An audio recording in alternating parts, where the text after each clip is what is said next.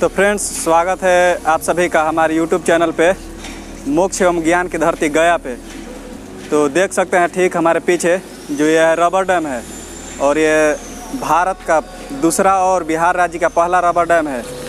बहुत ही शानदार है, जिसे बोला जाता है कि फल्गु नदी में पानी कभी नहीं टिकता था तो इससे बनने के बाद अब शायद पानी टिकेगा। तो चलिए अभी मैं आपको फल्गु नदी के कुछ बारे में विशेष बताता हूँ।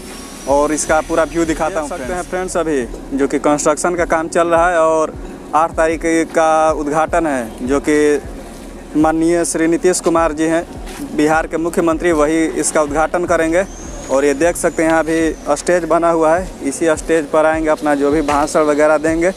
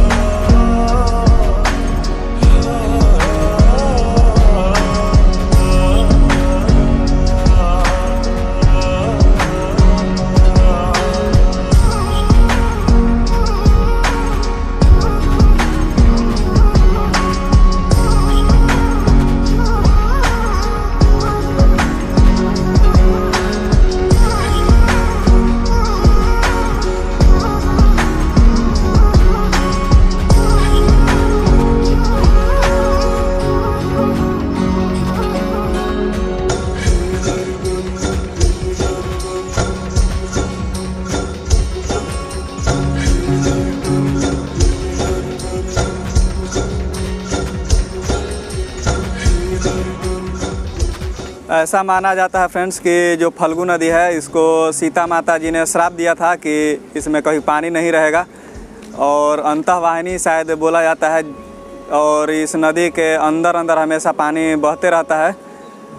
और अब तो डैम बन गया है, जिससे कि अब ऊपर ही पानी रहेगा, जिससे श्रद्धालु स्नान कर सकते हैं आराम से।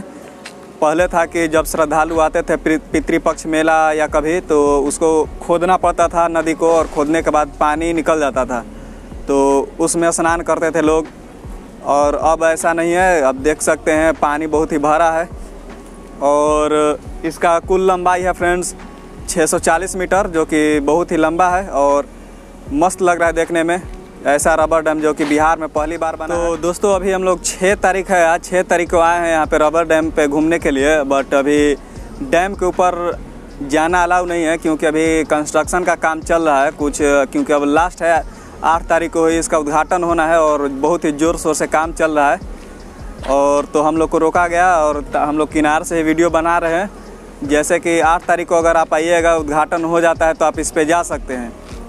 उसके बाद कोई रोक टोक नहीं होगा। अभी पुलिस बहुत सारे यहाँ पे खड़े हैं जो कि मना करते हैं, क्योंकि अभी काम चल रहा है कंस्ट्रक्शन का।